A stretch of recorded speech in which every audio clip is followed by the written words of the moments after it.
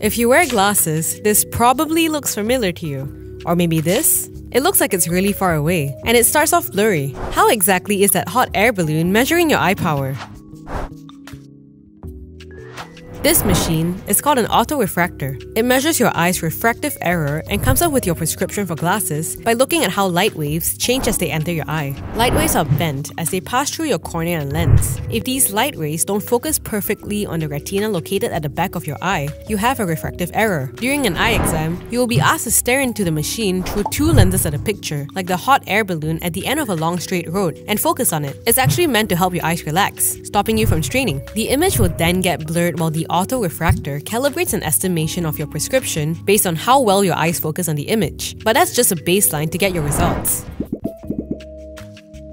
That's where this comes in. It's called a Snellen chart, meant to measure your visual acuity, meaning the clarity or sharpness of your eyesight. There are 11 lines of block letters, beginning with one very large optotype or letter at the top, followed by subsequent rows of more letters that get smaller. Standing 20 feet or 6 meters away, you will cover one eye, then read out the letters being pointed at by your specialist. Nowadays, though, there are digital Snellen charts that will randomize the letters displayed. This is to prevent you from accidentally memorizing the chart, which would obviously taint your results. Like all other tests, you shouldn't cheat on this one.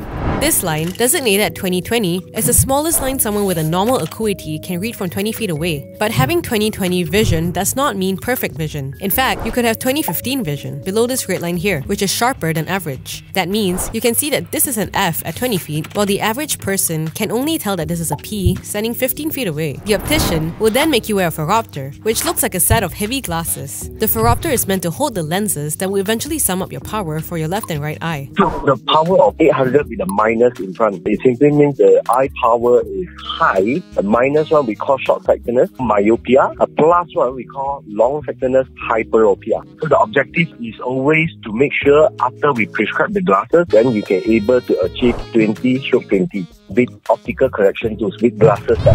Another step, it's called a duochrome test, and no, it's not meant to check if you're colorblind. It's to check if the lenses you were given are balanced on both sides of your eyes. Both red and green should appear equally sharp. If one looks sharper than the other, that means that the lenses have been either over or under corrected. All these tests will help your optician to prescribe lenses with the most accurate power to correct your vision.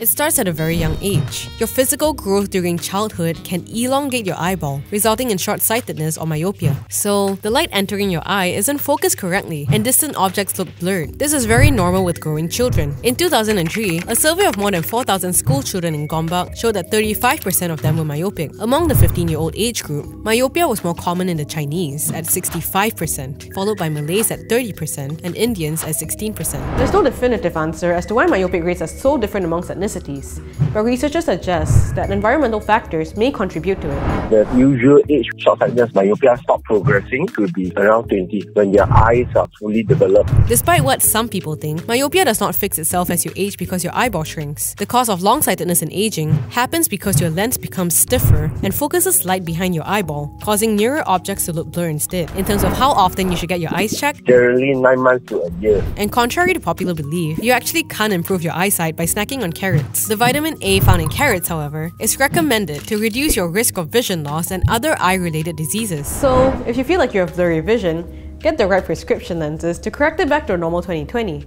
because straining can actually make your eyesight worse.